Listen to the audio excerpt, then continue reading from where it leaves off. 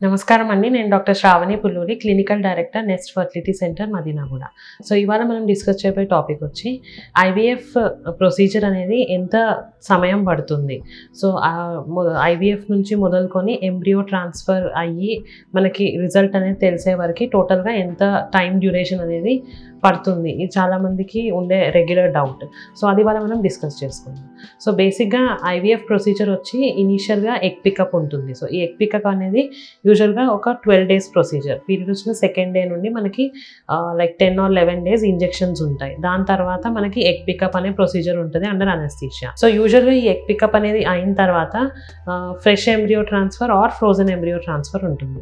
Fresh embryo transfer అంటేనేమో అదే సైకిల్లో మీకు ఎంబ్రియో ట్రాన్స్ఫర్ అనేది చేయబడుతుంది. సో మీకు అదే మంత్లో రిజల్ట్ అనేది తెలిసిపోతుంది. సో ఇది వన్ మంత్లో అయిపోతుంది ఫ్రెష్ ఎంబ్రియో ట్రాన్స్ఫర్ బట్ ఏంటి అంటే పీసీఓడి ప్రాబ్లం ఉన్నా కానీ మనకి నెంబర్ ఆఫ్ ఫాలికల్స్ ఎక్కువ వచ్చినా కానీ మనకి ఈస్టడైల్ అనే హార్మోన్ చాలా అబ్నార్మల్గా పెరిగిపోతుంది అనమాట సో ఆ టైంలో ఏంటి అంటే మనము ఫ్రెష్ ట్రాన్స్ఫర్ అనేది చేయలేము. ఎందుకు అని అంటే మనం ఇచ్చే ట్రిగర్ ఇంజెక్షన్స్ అనేవి వేరు వేరు ఉంటాయి కాబట్టి.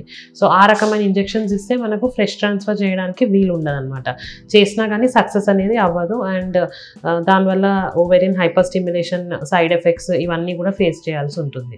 సో ఫ్రెష్ ట్రాన్స్ఫర్ అవ్వకపోతే నెక్స్ట్ మనకు ఉండే ప్రిఫరెన్స్ ఏంటి అంటే ఫ్రోజన్ ట్రాన్స్ఫర్ సో యూజువల్గా ఫ్రోజన్ ట్రాన్స్ఫర్ అనేది ఆ ఎగ్ పికప్ సైకిల్లో చేయడం జరగదు.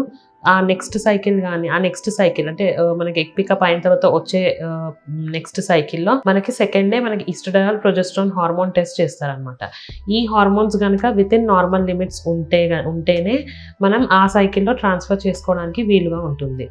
బట్ ఇన్ కేస్ ముందు వాళ్ళకి ఫాలికల్స్ ఎక్కువ వచ్చి పీసీఓడి వల్ల ఈస్టడల్ హై ఉన్నా కానీ మనకి నెక్స్ట్ సైకిల్లో హార్మోన్స్ అనేవి హై ఉంటాయి ఇంబ్యాలెన్స్ అనేవి ఉంటాయి. సో అట్లా హార్మోనల్ ఇంబ్యాలెన్స్ ఉంది అంటే మనం ఆ సైకిల్లో ట్రాన్స్ఫర్ అనేది చేయలేము.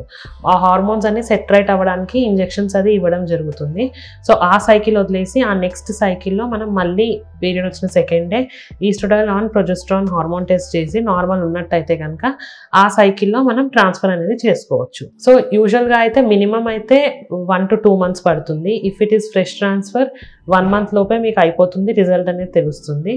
లేదు ఫ్రోజన్ ట్రాన్స్ఫర్కి వెళ్తే కనుక minimum two months maximum three మంత్స్లో మనకి ఈ ట్రాన్స్ఫర్ అనేది కంప్లీట్ అవుతుంది. మనం ఎంబ్రియో ట్రాన్స్ఫర్ చేసిన తర్వాత ఫోర్టీన్ డేస్కి మనకి సీరం బీటా హెచ్సిజీ అనే బ్లడ్ టెస్ట్ ద్వారా రిజల్ట్ అనేది పాజిటివా నెగిటివా అనేది తెలిసిపోతుంది అనమాట సో ఓవరాల్గా కౌంట్ చేస్తే minimum two months and maximum of three months time అనేది కంపల్సరీగా పడుతుంది ఐవీఎఫ్కి సో ఐవీఎఫ్ ప్లాన్ చేసుకోవాలనుకునే వాళ్ళు ఈ టైం పీరియడ్ అనేది ముందుగానే ఎస్టిమేషన్ చేసుకొని ట్రీట్మెంట్ అనేది స్టార్ట్ చేసుకుంటే బెటర్ అనమాట సో ఇలా దీని గురించి మీకు ఇంకేమైనా వివరాలు తెలుసుకోవాలన్నా కానీ feel free to visit next fertility centre Madina కూడా.